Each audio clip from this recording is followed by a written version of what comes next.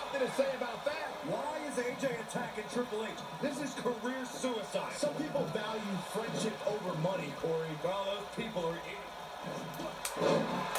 Knocked off his.